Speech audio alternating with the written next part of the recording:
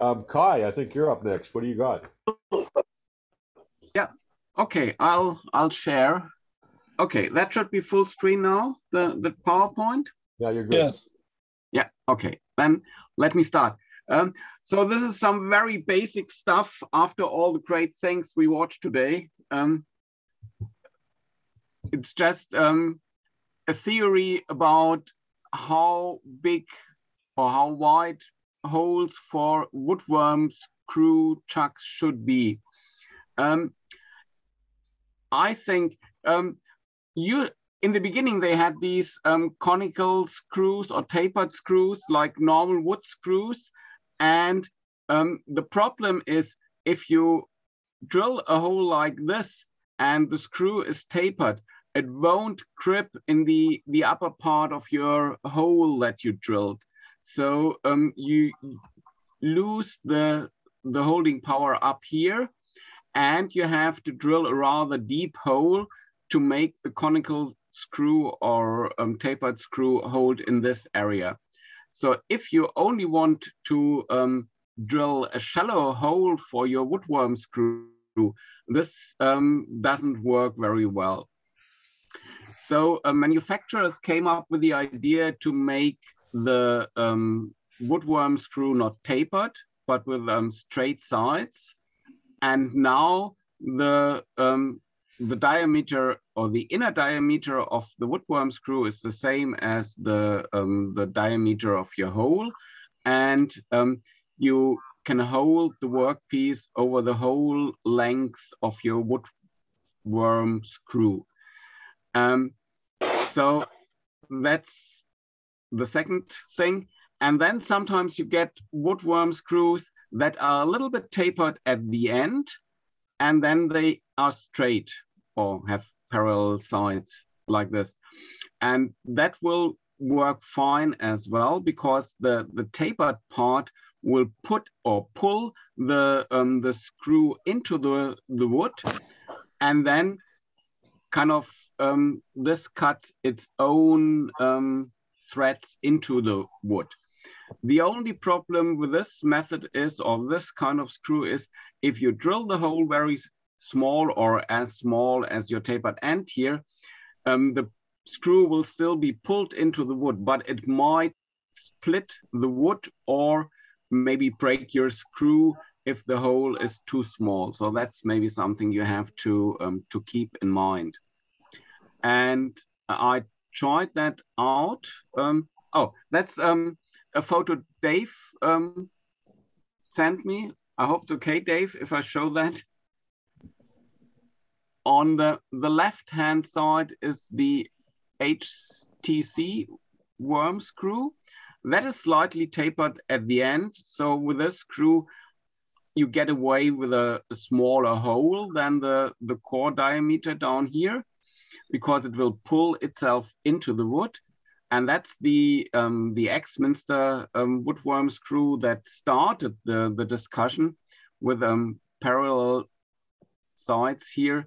And um, with this, it's a bit of a problem to get the, the screw into the wood if you drill a smaller hole than the core diameter, because that won't pull itself into the wood easily. So um, I measured the, the core diameter of the, uh, the woodworm screw that comes with the SK100 Axminster um, chuck. Um, Axminster does three different sizes of woodworm screws, and that seems to be the medium one. Um, and in their catalog, they write you should use um, a quarter inch drill, which is 6.3 millimeters. And the screw diameter actually is 6.7.3 uh, millimeters. So I guess they want to be on the safe side rather make the hole smaller so that you get a lot of holding power, but it's difficult to get the screw into the, the wood in my experience. So I'd rather drill the hole a little bit bigger, um, either seven or 7.5 millimeters, depending on how hard your wood is. And I tried that out. out. I drilled um, a seven millimeter hole into pine, and then I used my long um, screw chuck key, no, chuck key, my long chuck key, um, as a kind of lever to, to test whether that's really um, a good fit or whether it holds well. And it held really um, well, and that was dry pine. And um, I also tried a 7.5 millimeter hole in wet ash, and still it held fine. And then I cut that into half, and you here you can see the the threads that the the woodworm screw cut into the wood. That's where the hole started, and then that's the other threads you you get. So um, and I tried very soft wood. It was a draw front. I don't know what kind of wood, something exotical with a 6.5 millimeter um, pilot hole, so that's near a quarter of an inch. And um, the um, you can see my fingernail here. I tried to push the fingernail into the wood, so it's rather soft stuff.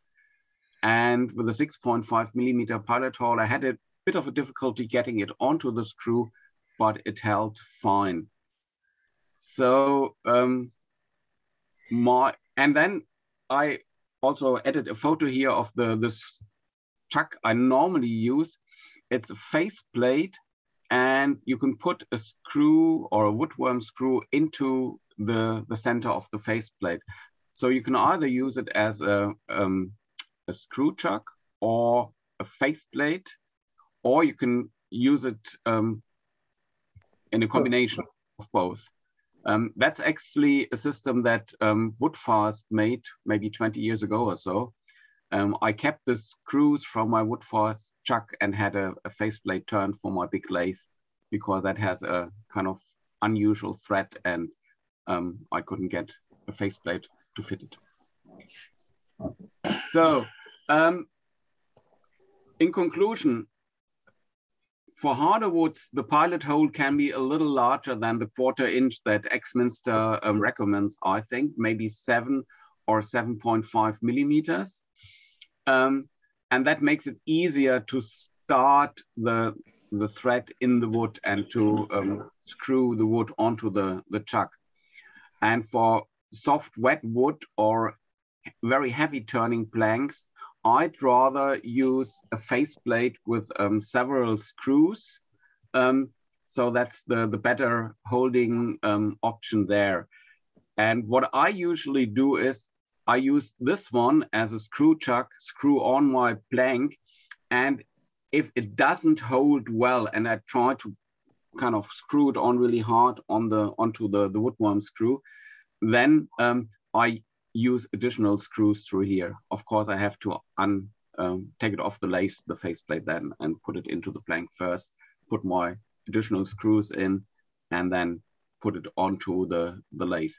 And the, the good thing is, normally if you turn bolts and you don't want the, the core, um, it doesn't uh, matter whether it has an additional hole in, in the middle. Oh, and and um, what did I want to say? It doesn't matter if you have the additional hole in the middle. So it also centers the, the faceplate in the in the bowl plank, which is um, quite handy.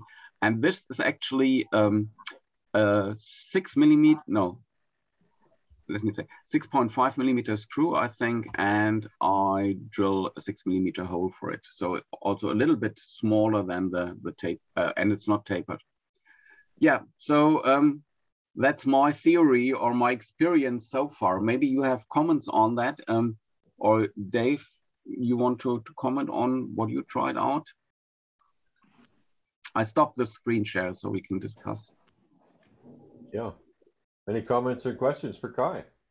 I have uh, uh, a a screw chuck that was made by Jake Brubaker here in Landisville uh, a long time ago. I used it uh, in the late 70s, probably most of the early 80s, if not beyond there. It's simply a bolt, uh, a washer uh, welded to it, and a, uh, a bolt head, uh, a nut. And so it's three pieces welded together. Uh, I used it for years.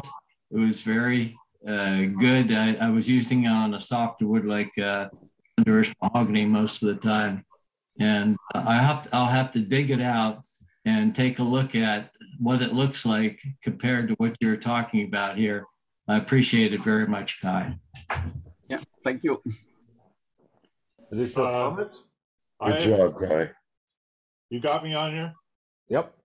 Uh, I've used the same screw from a Nova chuck for over 21 years now.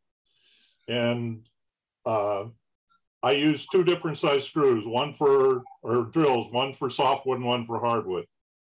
And using both, I have to take the piece off the chuck and unscrew the screw with a pair of water, water pumps. Uh, but I have broken two Oneway screws. if if you if you uh, go to Bruce Hoadley's Understanding Wood, in one of the later chapters, he goes very uh, detailed about optimum hole diameters for wood screws, and even says that nails will hold much better if you first drive drill a pilot hole that is 60% of the diameter for softwoods, physically soft, and 80% for hardwoods. The last couple of days, I've just been making bowls and I've been using the S- Axminster SK114, which is their latest chuck with the um, screw. I think it's the middle size screw. And I was u- using it on fairly hard wood. And I was having trouble getting them off afterwards when I wanted to take it off. And what I found is if I just put a little tiny piece of wax on the threads, it just, you could just almost do it with one hand. Mm-hmm. Okay. Just a little tap. I'll try that. Anybody else on this? Was that was that dry wood or wet wood? that was dry and it was a pretty hard wood. It was either cherry, well, it was cherry and uh, Bradford pear. So, and it was pretty hard. When pear dries, it goes very hard. Yeah. Anybody else?